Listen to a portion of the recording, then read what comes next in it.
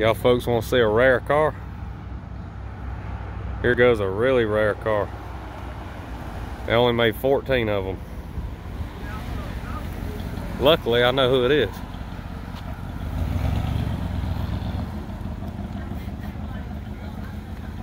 Cadillac station wagon.